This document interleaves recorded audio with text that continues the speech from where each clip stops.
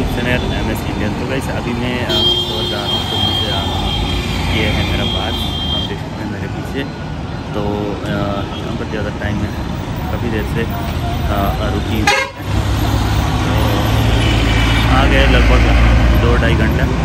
अभी उधमपुर में